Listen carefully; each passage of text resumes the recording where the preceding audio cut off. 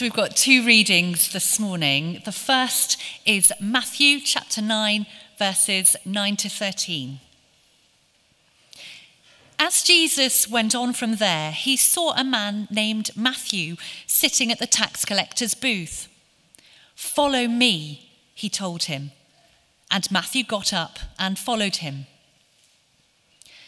While Jesus was having dinner at Matthew's house, Many tax collectors and sinners came and ate with him and his disciples. When the Pharisees saw this, they asked his disciples, Why does your teacher eat with tax collectors and sinners? On hearing this, Jesus said, It is not the healthy who need a doctor, but the sick. But go and learn what this means I desire mercy, not sacrifice. For I have not come to call the righteous, but sinners. And the second reading is Luke chapter 18, verses 9 to 14. To some who were confident of their own righteousness and looked down on everyone else, Jesus told this parable. Two men went up to the temple to pray one a Pharisee, and the other a tax collector. The Pharisee stood by himself and prayed, God, I thank you that I am not like other people robbers, evildoers, adulterers, or even like this tax collector. I fast twice a week and give a tenth of all I get. But the tax collector stood at a distance. He would not even look up to heaven, but beat his breast and said, God, have mercy on me, a sinner. I tell you that this man, rather than the other, went home justified before God. For all those who exalt themselves will be humbled and those who humble themselves will be exalted. This is the word of the Lord. Thanks be to God.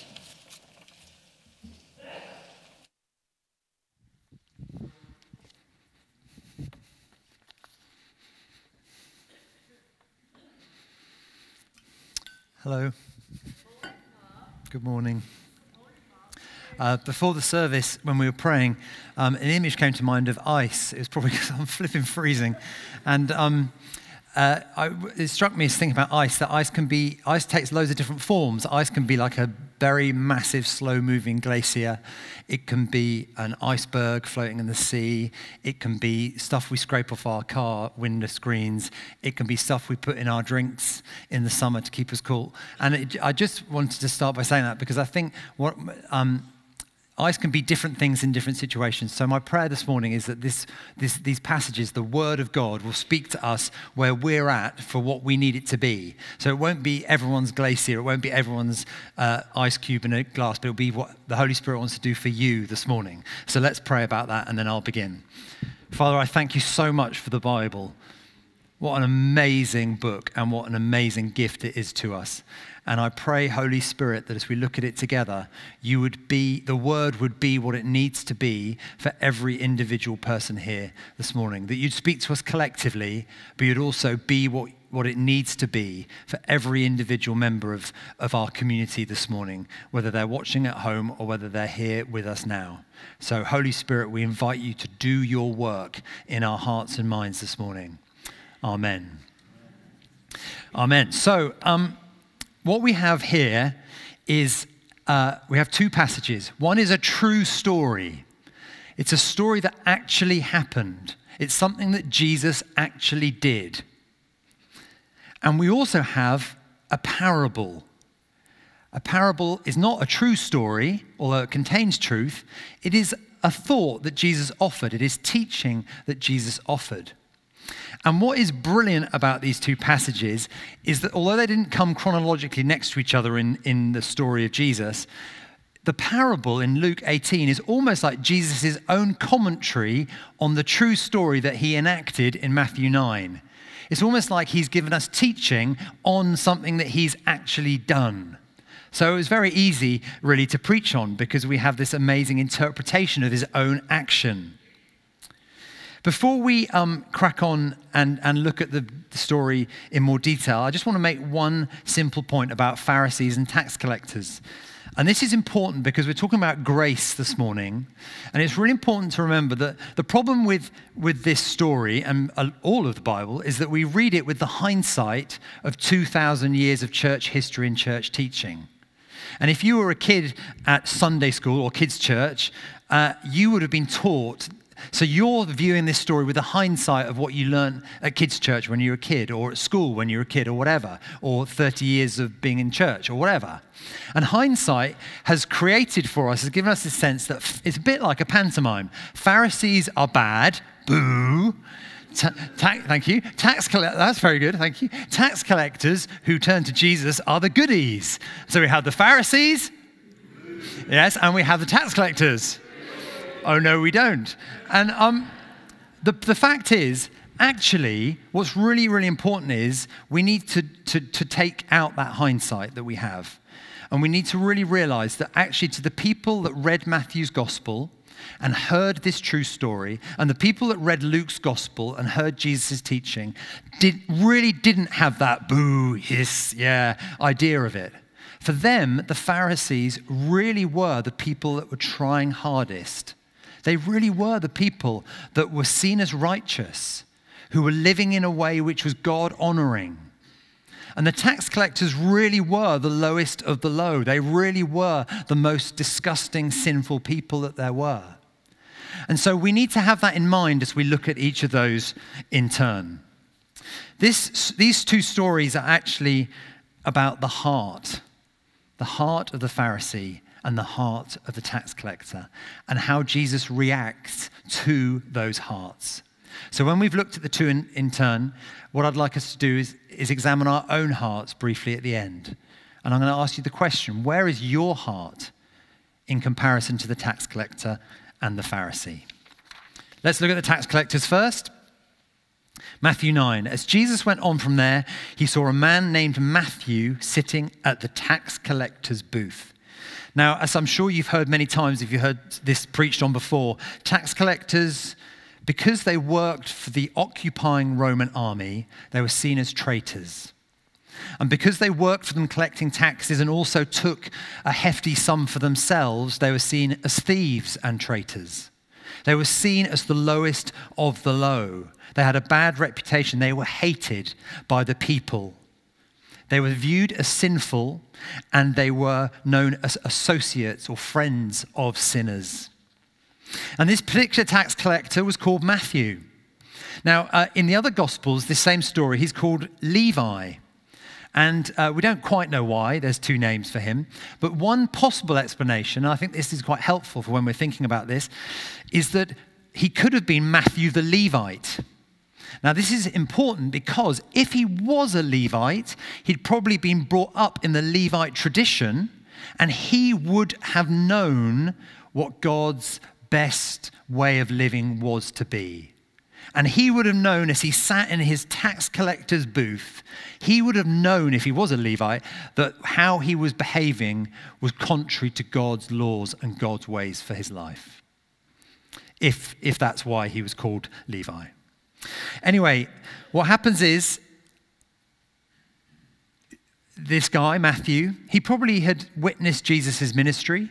He'd probably heard Jesus' preaching. He'd probably seen Jesus' miracles, maybe his healings, as Jesus had gone through about his ministry. But it's incredible to Matthew, and it's incredible to the readers of the time, that Jesus, who was viewed as a rabbi, who was a rabbi, a respected teacher, would go up to such a man as Matthew and say, Matthew, follow me. And it's even more incredible in some ways that Matthew immediately got out of his tax booth and obeyed that authority. Perhaps because he'd seen Jesus doing amazing things, perhaps he was intrigued. But there's something about Jesus' authority. Matthew, follow me. And immediately he gets up. He leaves the tax booth behind and he follows Jesus. This new life that he begins, this new direction, is worthy of a great celebration. So he has a fantastic dinner party. And we read this in, in verse 10. Jesus was having dinner at Matthew's house. And he wants to invite his friends, but unfortunately, Matthew, being a tax collector and a sinner, only has friends who are also tax collectors and sinners.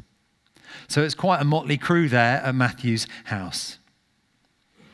Sinners was a phrase describing anyone who failed to keep God's law, but particularly those that didn't live to the standards set by those such as the Pharisees. Now let's turn to Jesus' parable in, in Luke 18. So he begins his parable by saying, Two men went up to the temple to pray, one a Pharisee and the other a tax collector. And we read in verse 13 that the tax collector stands at a distance. He would not even look up to heaven, but beat his breast and said, God, have mercy on me, a sinner. Because of his shame, and because of this sense of distance from God, he stands apart. He beats his breast as a sign that he is sorrowful and regretful for what he's done and his situation. He asks God for mercy. What's interesting here is he doesn't say, God, he doesn't plead his case. He doesn't justify himself. He doesn't list the things that he does. He doesn't say, I know I'm a bad tax collector, but I actually did these three or four good things. He has no evidence to to promote himself. He just knows that he is rubbish. He knows that he is a failure. He can only rely on God's mercy. That's all he can do. God, have mercy on me, a sinner.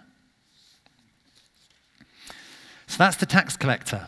Now let's talk about the Pharisees. Pharisees were, um, they weren't a priestly order, they were a layperson's order.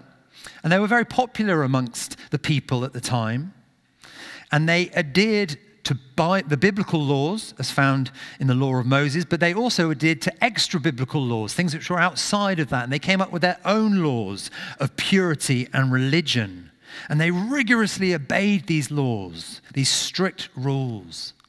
They were known as the separate ones because they felt that the way they were asked to, to live and, and the way that they were was separate from the other people who weren't quite like them. They were known as the separate ones. And so they are rightly offended by Jesus going to the house of Matthew with his tax collector friends and his sinful friends. And so they go to Jesus' disciples. Interestingly, they don't go to Jesus himself. They're obviously a little bit nervous, but they go to his disciples and say, Why does your teacher eat with tax collectors and sinners? Verse 11. It's not really a question, it's more an accusation. It's a charge against Jesus. Why does your teacher spend time with these sinful people? You see, the Pharisees couldn't see anything positive about what had happened to Matthew, the tax collector. They couldn't see that Matthew had been pulled up out of his tax collecting booth and brought into a better place. They couldn't see that. All they could see was that Jesus was eating with sinners and tax collectors. They would rather judge Jesus than celebrate what Jesus had just done. The Pharisees had confidence in their own righteousness and they looked down on everybody else who wasn't like them. And that's exactly how Jesus starts his parable in Luke. Luke 18, verse 9. To some who were confident of their own righteousness and looked down on everyone else, Jesus told this parable. So he talks about the Pharisee at prayer, thinking they're successful. And it reads this The Pharisee stood by himself and prayed, God, I thank you that I'm not like the other people, or even like this tax collector. He stands by himself, that highlighting his sense of separateness, that idea that we're going to separate ourselves off. I'm not going to pray with the normal people, I'm going to pray by myself. And in the original language, he uses the word I five times. This is all about him. This is so egocentric. He says, I thank you that I am not like these other people. He's almost turning it into a competition. I thank you that I am winning this competition. I fast twice a week, which wasn't in the law. It wasn't required by the law. I give a tenth of all I get, which actually, the fullness of that was also not in the law. But he's bragging about his own moral purity, his own religious and spiritual piety. It's almost as if he's entering into a contract with God. He's saying, God, let me list for you the things that I do for you. Let me list the things that I'm doing well. I do this, I do that, I do this, I do that, I'm winning. Now, God, what are you going to do for me because I'm doing these things? And it's almost like the contract. God, you are now going to make me righteous. You're going to make me right with you. You're going to justify me. You're going to forgive me because I am doing all these things. Such a contrast from the attitude of the tax collector. So, how does Jesus react to these different people, these different attitudes? Well, first of all, it's worth saying that he's clearly comfortable in the house of tax collectors and sinners because he went there to eat dinner with them. He's clearly at ease with the people who have messed up. Isn't that comforting? And he says some of the most profound teaching that we have in the Bible in, in, in, in his response. First of all, he says this It is not the healthy who need a doctor, but the sick. Verse 12. It is not the healthy that need a doctor, but the sick. You see, Jesus is saying that only those who know they're ill go to the doctor, obviously. If you don't know you're ill, you don't go to the doctor. But of course, everyone's spiritually ill. There are no spiritually healthy, fully healthy people. Romans 3, verse 10 there is no one righteous, not even one. See, the Pharisees viewed themselves as healthy because of their observance to the law, but they were actually blind to the truth. The truth is, they were as uh, spiritually sick as the tax collectors and sinners, but they were blind to that truth And one of the roots of their spiritual sickness was their tendency to judge other people, as we've seen. Jesus taught in Matthew 7 do not judge, or you will be judged. You see, the Pharisees expected a Messiah, which is what Jesus was claiming to be. The Pharisees expected a Messiah who wouldn't come and pull Matthew out of the tax booth, but who would go and destroy Matthew in the tax booth, would crush him would kill him off, would defeat him. They wanted judgment on people like Matthew, who were traitors and sinners. But Jesus comes along and says, No, my way is not that. I'm going to rescue him from his tax booth. I'm going to rescue him and bring him to be with me and welcome him to sit and eat with me. And the Pharisees just couldn't handle that. They couldn't accept that. They wouldn't accept a Messiah who would transform a sinner. But that's exactly what Jesus came to do. Remember what we heard at Christmas with Mary? You are to give him the name Jesus because he will crush the sinners. You are to give him the name Jesus because you're going to destroy people like Matthew.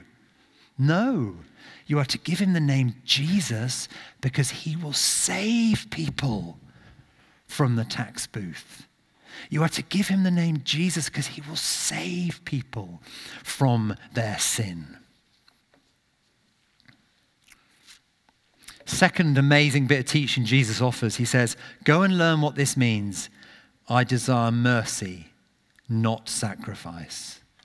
Now, this is interesting. This phrase, go and learn, I was interested to find out that it's an old, uh, it's an old phrase that the rabbis would use, apparently, and it's slightly patronizing. It's like when you've not done your homework well enough and they say, go home and do it again. It's basically saying that. Go and learn what this means. You've read it, because they would have read it in Hosea 6. That's where that quote comes from.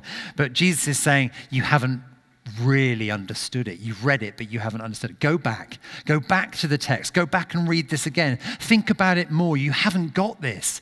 I desire mercy, not sacrifice. Mercy is a word uh, from the original Hebrew hesed, which means steadfast love, which was a covenant love.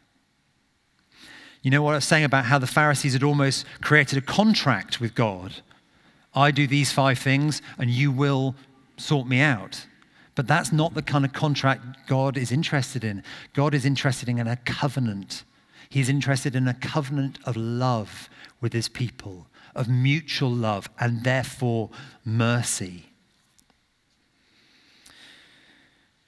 The, for the final bit of wisdom from Jesus, we turn back to the parable, verse 14.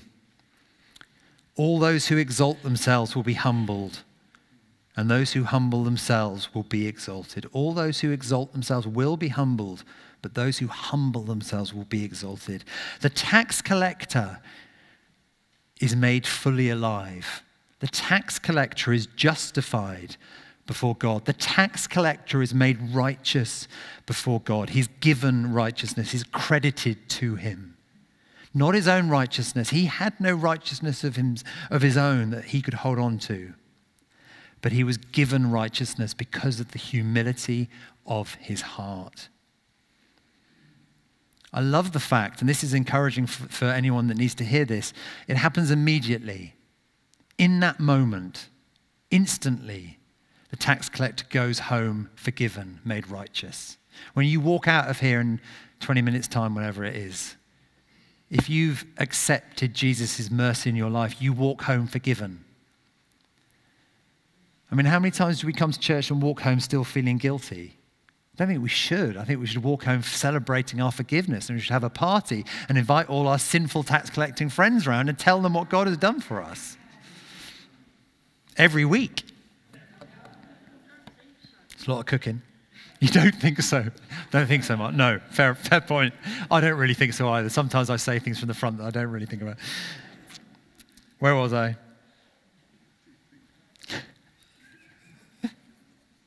One, one quote I read this week said, This is a shocking reversal of common expectation. A shocking reversal of common expectation. The Pharisee thought he was righteous tried to justify himself. The tax collector knew he wasn't righteous. All he could depend on was God's mercy. And as a result, he was pronounced by God justified. So, just in closing, Uh, like I said at the beginning, I want you to open your heart to the Holy Spirit and think about where you are in this story. Who do you most relate to? Who do you most relate to? There's something that I only saw this morning as it was being read at the 8:45 that I hadn't registered as I'd looked at it beforehand. I don't know if you picked up on this. Both the Pharisee and the tax collector, when they went to pray, what does it say about where they stood? Anyone pick that up? Apart. They both stood apart. Isn't that interesting? But the Pharisee stood apart out of pride because he didn't want to associate with anyone else. He stood apart because he was too proud. He was too proud of who he was to get near to anyone else. The tax collector also stands apart, but not out of pride. He stands apart out of shame because he's too embarrassed to stand near other people. So, my simple question for you this morning is where's your heart? Is your heart proud or is your heart humble? And let's be honest, we're going to be a mixture. We're going to be a mixture, aren't we?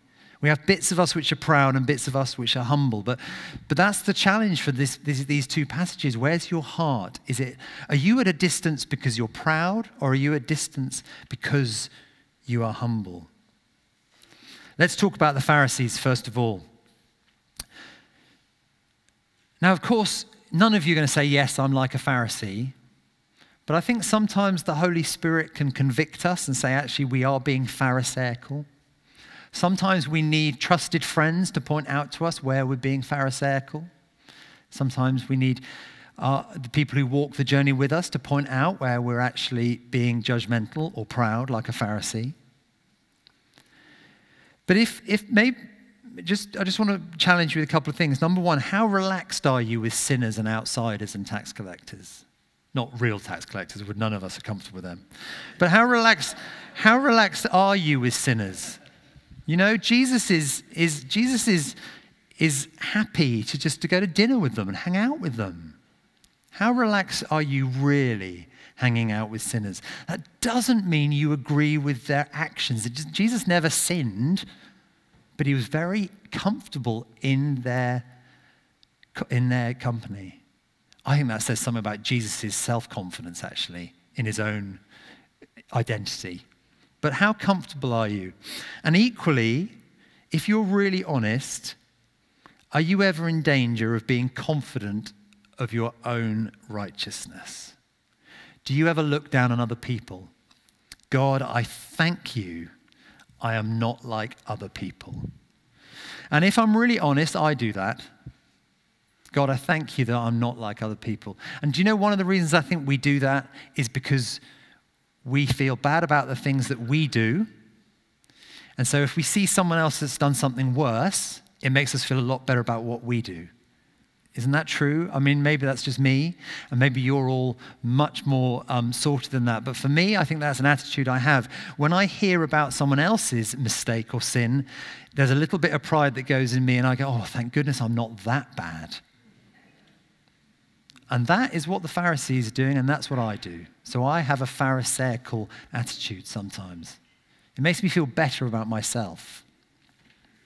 That's the negative. Let's talk about the tax collector just as I finish two of these. So maybe there's two angles that you might be this morning on the tax collector. This is the first one. And I wonder if this speaks to some of you. Are you still sat in your tax booth?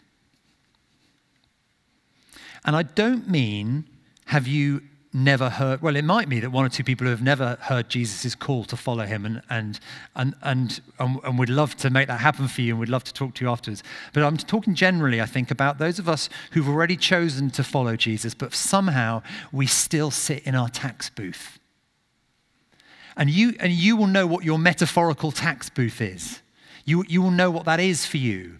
What is the thing in your life that, on, even on a daily basis, on a weekly basis, you know it's not God's way, it's not God's best for you, and you know Jesus is outside your tax booth coming, come on, don't, don't stay there today. Let's go find a better way together. But somehow, maybe on a weekly basis you, or repetitively, you end up actually staying in your, in your booth because that's the place of comfort.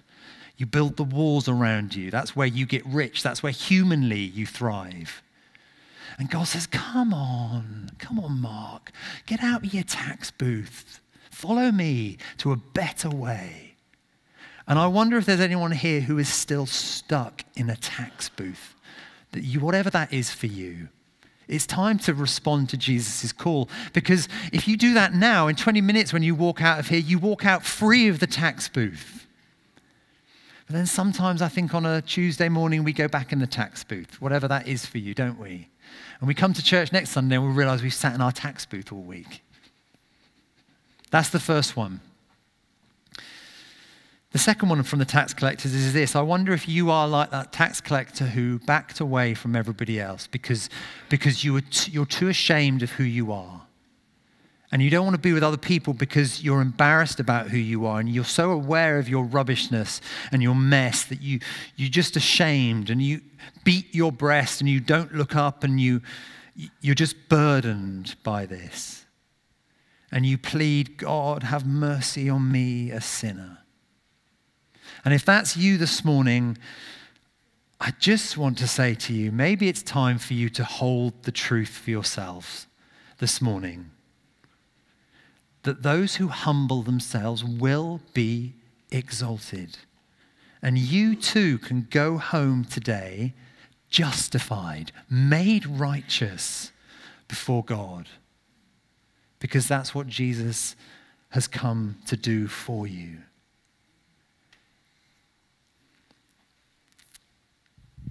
I'd be saddened if there's anyone here who is happy being a Pharisee. I'm sad by the fact that some, and myself that is, as I've express, expressed, I'm saddened by people who keep going back to their tax booth. But I'm really sad if anyone here this morning doesn't walk out of here free. Because it's so easy. Humble yourselves, and you will be exalted. God, have mercy on me, a sinner, and God commands righteousness on you. He forgives you. He heals you. You are ransomed, healed, restored, forgiven. And I want everyone to go home feeling that truth, knowing that truth, believing that truth, celebrating that truth this morning. Let's stand together. I'm going to pray.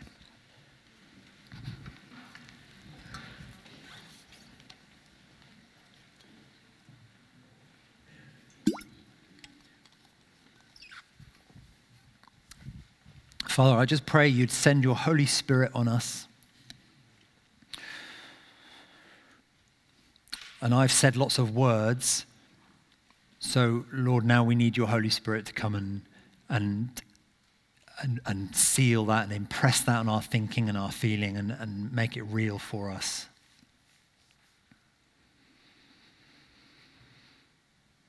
We pray, Come, Holy Spirit. Where we have the attitude of a Pharisee, would you free us? And we're sorry. Come, Holy Spirit. And where we're still stuck in our metaphorical tax booths, Father, we thank you that you call us out and you call us out to follow you. Come, Holy Spirit, give us obedient hearts Give us the courage to step away from those things that aren't right, that trap us, that keep us sat down in a bad place. Give us the courage to hear your voice saying, Follow me. Give us the courage to take your hand and be led away from that on a daily basis, Jesus. Come, Holy Spirit. And Father, where we're feeling unworthy, where we're feeling like we are just a sinner, where we are feeling ashamed, where we're feeling embarrassed, where we're feeling like we're rubbish. Holy Spirit, pour the love of the Father into our hearts that we would know that we are ransomed, we are healed, we are restored, we are forgiven, and we go free. Come, Holy Spirit, fill us. We love you, Jesus. Thank you.